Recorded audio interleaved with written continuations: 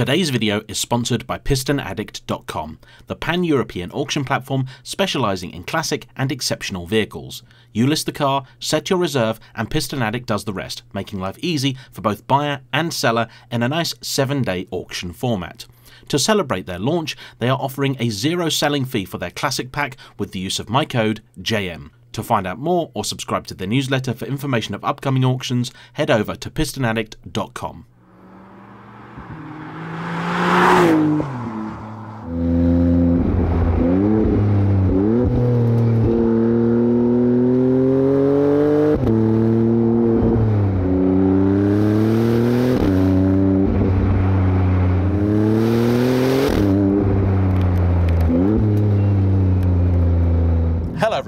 today I am talking Maserati, a brand that many of us petrolheads say that we love, but sadly for many, it is from afar. And the reasons are simple. Though the cars are almost universally pretty and often accompanied by a glorious soundtrack, they have that mysticism, that exotic feeling that you get from a proper Italian thoroughbred, and without the pomp or the arrogance often associated with a prancing horse or a raging bull, we all kinda know that they are likely to let us down, both in terms of the driving experience, which often fails to match the glamour of the looks, and also in the most basic sense.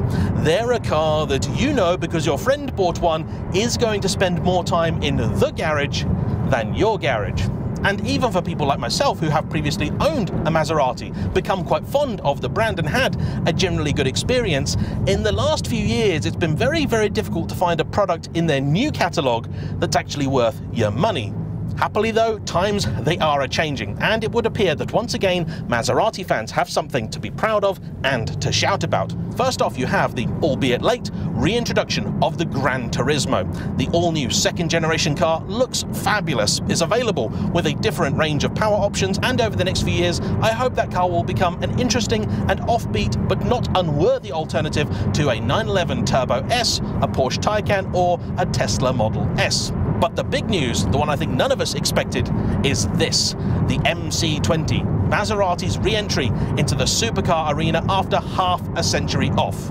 I personally do not count the MC12 because we all know that was just a rebodied Enzo sold exclusively so Maserati could go racing with it. There wasn't really anything Maserati about it at all. This, though, I cannot say the same for because from the ground up, it is all new, all Maserati, and very, very special. But that's on paper. What's it like in the real world? Will this be another typical Maserati disaster? A car that overpromises and underdelivers? Or will it be the long awaited triumph of the Trident that we all hoped they could build, but few of us thought they actually would? Time to find out.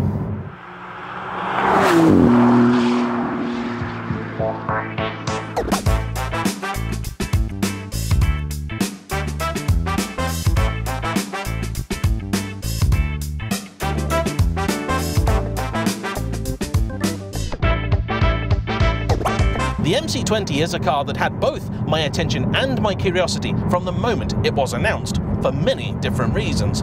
First off, thanks to the fact that many, many of you, near 300,000 now, have decided to join me on this wonderful and crazy adventure I've been on over the last seven years, I am now actually in a position where I could potentially afford a car like this. I've often said that I would love just once to buy something from new, spec it to my requirements, and have something that is truly designed for me. But it feels like time is kind of running out for me because there are fewer and fewer cars available each year which are both worthy of spending money on and also that you can actually do interesting stuff with. The all new Lamborghini Revuelto, I'm sure, is lovely and wonderful, but it's also going to be half a million quid. I could sell everything that I own and just about cobble together a deposit. Meanwhile, the Ferrari 296 is 300,000 quid by the time you've even looked at the options list, and I'm not sure you can actually order one anymore anyway. The Lamborghini Huracan, meanwhile, is essentially out of production again in the guise that I would want. I don't believe you can get it. The Audi R8, similarly, lovely car, and I would have one of those, but you can't get all the nice exclusive options here in the UK because Audi GB are boring. An Artura would be a possibility, as would potentially a 750S, but the latter is very expensive. The former I don't like the looks of, and McLaren dealers still have me on their shoot to kill list. The Honda NSX was also unceremoniously discontinued about five years ago, and it was such a popular car here that I don't think anybody actually noticed. That leaves me with relatively few options, but as both somebody who enjoys drive engagement, I'm a former Lotus owner as well as an Italian car fan, the MC20 seems to do an awful lot absolutely right.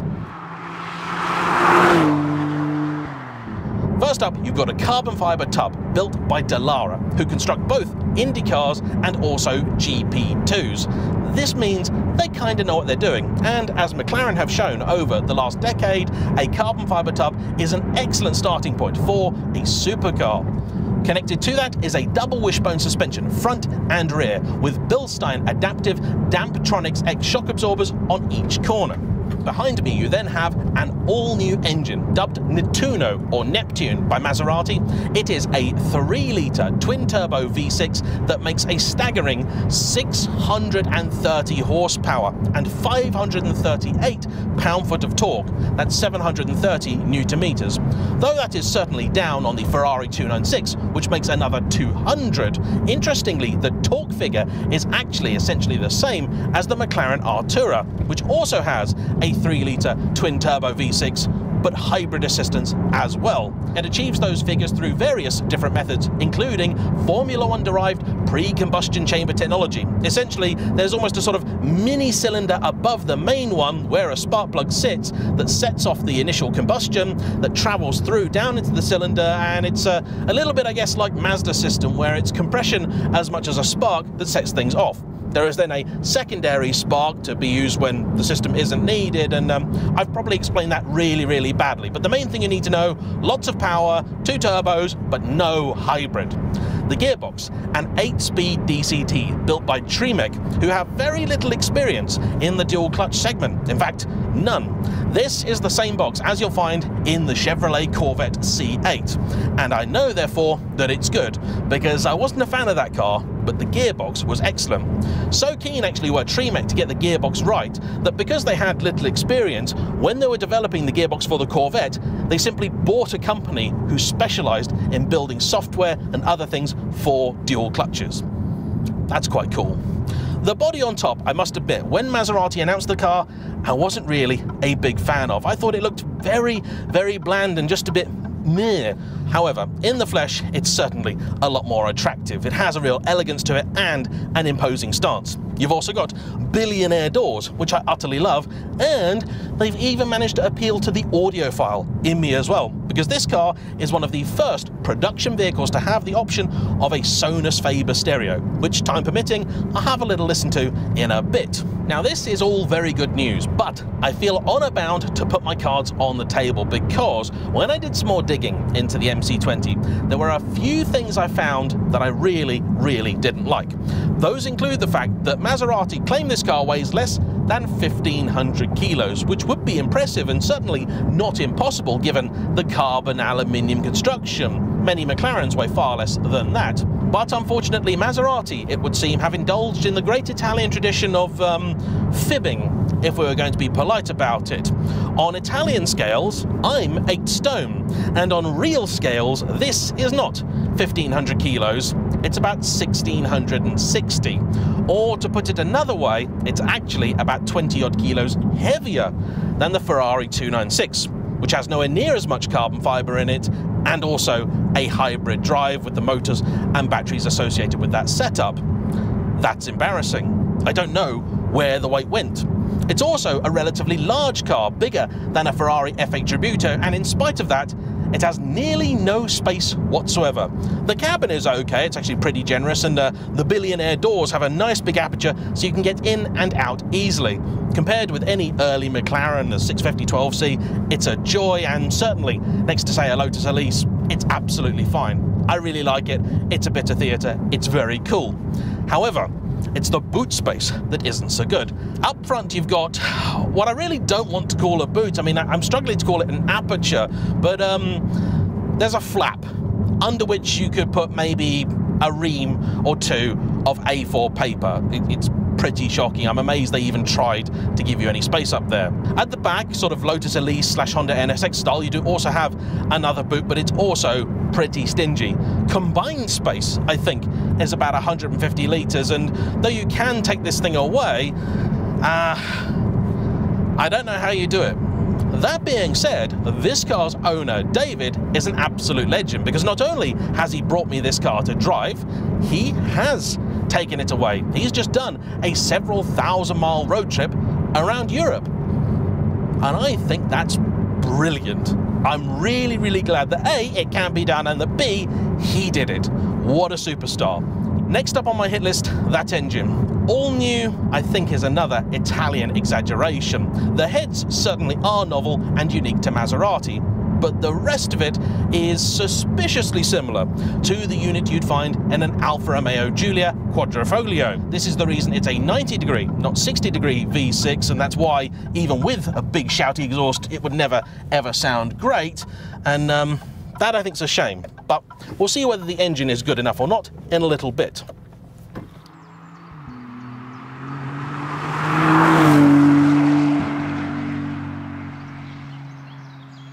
Finally, the price. If you were to Google how much this costs, you'd be told about £190,000. But actually, it's more like £196,000 for the base model before options, and the options list is a little bit eye-watering. In fact, I'm going to let VoiceOver JM talk you through some of it now. It starts with essentials like the suspension lifter at £3,250 and the electronic limited slip differential, which should be standard but isn't and is £2,150. The Sonus Faber stereo is priced comparably to a Burmester of a Porsche at £3,750. Heated seats are £500, though if you want the lightweight buckets, they're £5,900 and can't be heated. If you want a bit of carbon and heating, you can have the seat backs of the regular ones in it, which you'll never see, at £4,300. Brake calipers in black, blue, red, silver or yellow, 1100 quid. Auto dimming mirrors, 650. Garage door opener, 400. But after that, it gets a bit out of hand. The roof in black, £3,750. In carbon, £5,900. The forged wheels, as seen on this car, £4,850. And if you want them diamond cut, add about another grand. If you want the popular blue Infinito paint, the launch colour essentially, that's £4,300. Pricey, but a bargain compared to those on the special order Fuoriserie list. Blue denim, a solid colour, not even metallic, that's £16,200. Haven't been to Specsavers lately and fancy digital mint? £21,600 but even that pales next to the military teal or powder nude at 27 grand. Still too subtle? Why not add a garish livery, yours for just £10,800? And if you're fond of carbon, Maserati have conveniently made two packs, one for the interior and one for the exterior. But they don't include everything, just the stuff you can't get separately.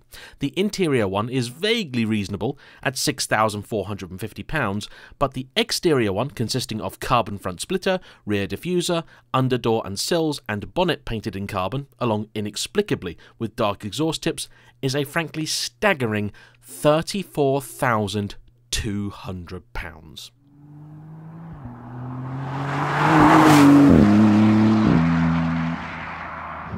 The net result of all of that is that even a modestly specified car such as this, which has the black paintwork because David wanted it to be a little bit more subdued, the nice extended leather Alcantara interior because he didn't want to be boring, and things like the suspension lifter, which you absolutely, definitely need. This car has already scraped on a few pieces of road where nothing else does. Like a lot of other manufacturers, below this car you'll find different vanes channeling the air about, and they like to smack into the ground a lot.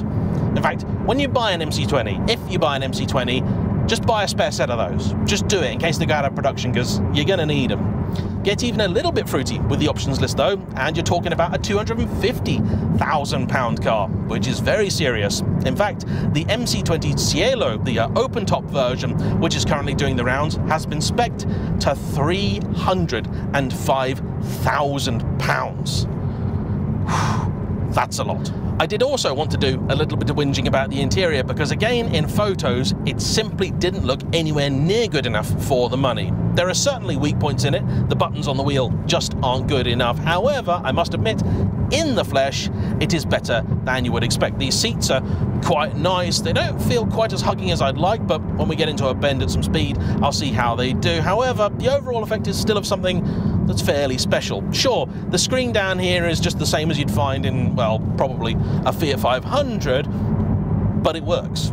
It's got Android Auto, it's got Apple CarPlay, and so I suppose that is a step forward. It doesn't look horrendously out of date the minute it's new. And there are nice touches, like the little mode selector down here, which is a combination of rotary dial and a screen. You twist around for the different settings, wet, GT, sport, Corsa and ESC off. And if you want your bumpy road mode equivalent, you just swipe the screen and then twist the dial again. I quite like that. Very neat, very nice. You've then just got two buttons here, some controls here for the windows and the volume, which are a bit cheap and nasty, but you can't see them, so it doesn't matter. The digital dash is actually okay enough. It's fairly small, but gives you all the information that you need, and you can configure it, do various different things, and as you change through the drive modes, it does change the display as well. But enough rambling. I think the car is now thoroughly warmed through. I've got an idea of the road conditions and all that jazz, so uh, let's turn it around and let's discuss that. This car has the suspension lift, and honestly, I'm not even going to try doing this without it because it will be terrifying. Quite a nasty ramp to get out of here. Uh, no concept of where the front is. The gearbox does go into reverse pretty readily, and uh, like a Ferrari, just pull the paddle to get back into drive. But, oh, I'm just waiting for the scrape there. I'm just so terrified it's going to hit the ground. But it didn't. You need the lifter. So, I'm going to start in GT mode. The car's in its softest, most limp setting. Dampers are in soft. I'm going to put it manual mode, drop a gear, crunch time. Maserati MC20, no excuses. How good are you?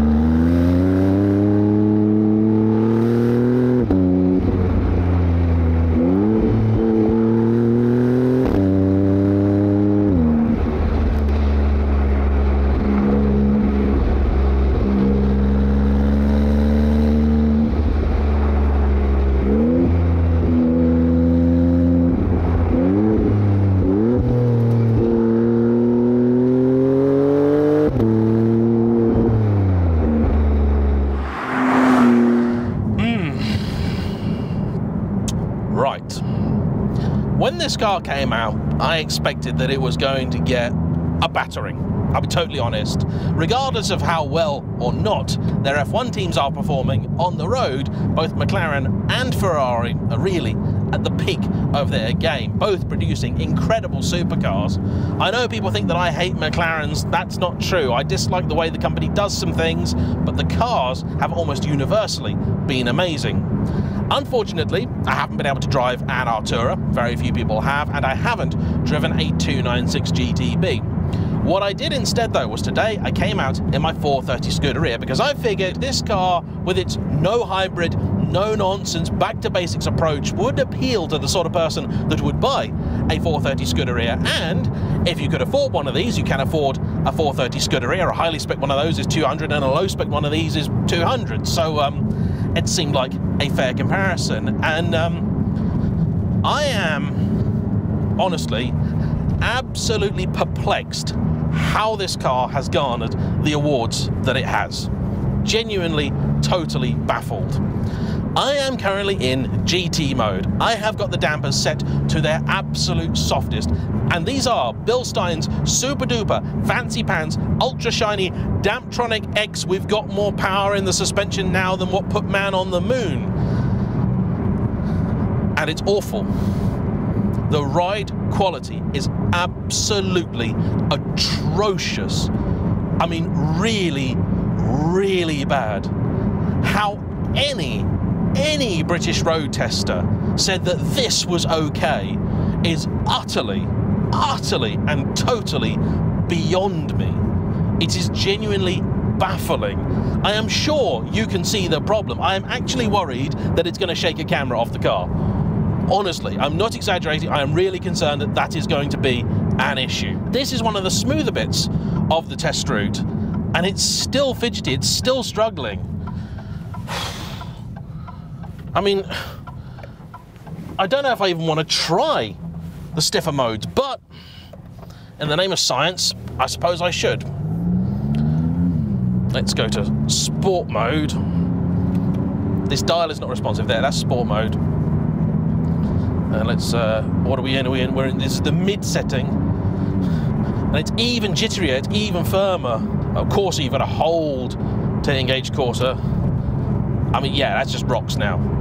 I mean, yeah, now now it just feels like there is no suspension in the car. You can see that, right? You, you, you can see what's going on here. Right. I'm going to put it in sport now, uh, with the dampers in soft because I'm going to do my very best to ignore those for a moment. It'll be tough, but I'll try. There are other things about the car that I do like. The engine. Holy heck! This thing is quick. Yes, it may be considerably heavier than Maserati claim, but another great Italian tradition is that even though you know it's much podgier than its maker says, it still feels blooming heck. Rapid. Really rapid.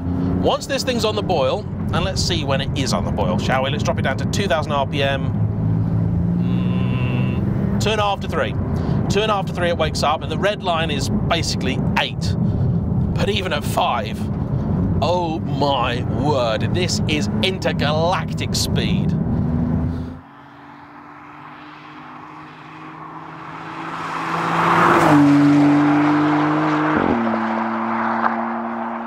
Not exciting though. Not a dramatic noise. Very, very flat. Let's try and focus on the steering for a moment. It's responsive for sure. I mean, it turns in really well. Ruddy should, given how stiff it is, that's for sure. And the gearbox is responsive. The gearbox is nice. Doesn't have that crack or pop of some systems. Maybe it does in Corsa, but I seem to remember in the Corvette it was similar. And honestly, I just don't want to try Corsa because in Corsa, like the Alfa, I don't think you can have the soft dampers. Let me have a look. No, you could just have mid and hard. That's it. Let's just check if the gearbox is any different though. No, not really. The turning is phenomenal. I mean, the turning is just incredible. And I bet on a track, this thing is an absolute riot because there, the engine's always going to be in its happy place. The dampers are going to do their job wonderfully, and you're going to really, really appreciate it. This this suspension is actually giving me a hard time trying to work out if the steering's actually any good. At low speeds, there's just no feel whatsoever. I mean, absolutely none. It's really heavily assisted. It's electric, by the way, but that no longer means that it has to be lacking in feel. I'm sure some have already pointed out that uh, up here, the rear view mirror is actually a screen. There is a mirror as well if you want it, but you can't see anything. I like the driving position. I like the driving position a lot. The seats are actually pretty good. They're holding me in well enough. I'd love harnesses if they were an option, but I don't think that they are. You can get sportier seats though. The windscreen feels like it's been profiled in such a way that it gives you a little bit better view. I feel like I have a little bit more glass in here than I do in a Lamborghini. If you were to take this up to Scotland or so, you could actually see some of the scenery. Oh, I want to check something else as well, actually. Which I know is going to sound a bit weird. I want to see what the buffeting's like. Actually, it's not that bad. All right, more plus points for Maserati. Like many a Ferrari, like the 430, window down, this is really pleasant. And you can hear the exhaust a little bit more, and though it isn't a tuneful thing, you can appreciate it. I would drive the car like this all the time. Let's have a quick listen to that Sonus Faber stereo, shall we? I keep thinking that a camera has fallen off, but actually stones flick up, they hit the bottom of the tub, and it's quite loud. This display is not very responsive, I can tell you that much.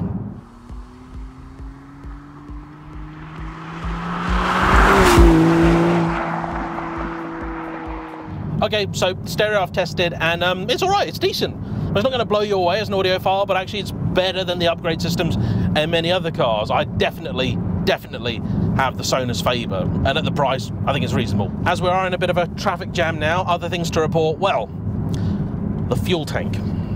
It's pathetic. 60 litres, which in anything vaguely sporty is just not enough. In something like this, it's atrocious. Where David lives, around town, this car will only get about 120 miles between stops. In fact, it's currently got more than three quarters of a tank and it's estimating 155 miles of range.